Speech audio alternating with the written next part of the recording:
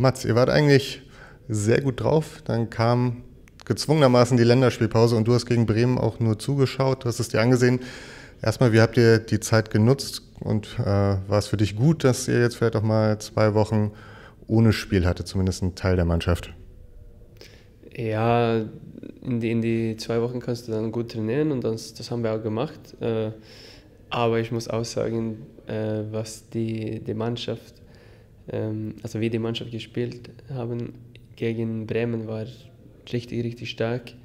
Ähm, das war eine gute Leistung von allen und äh, dann haben wir einen großen Konkurrenzkampf in der Mannschaft äh, auf jeder Position und das brauchen wir.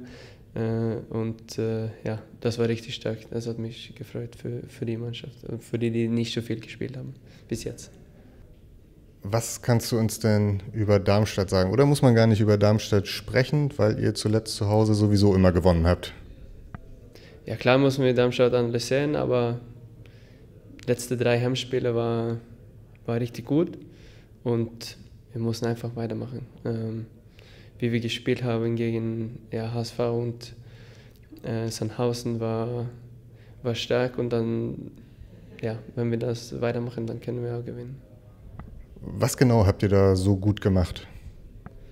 Ja, wir haben aggressiv, aggressiv verteidigt, schnell nach vorne gespielt, äh, gutes Angriffspressing und äh, äh, ja, wir haben auch einen guten Teamgeist in der Mannschaft und Spirit auf dem Platz und äh, das hilft auch.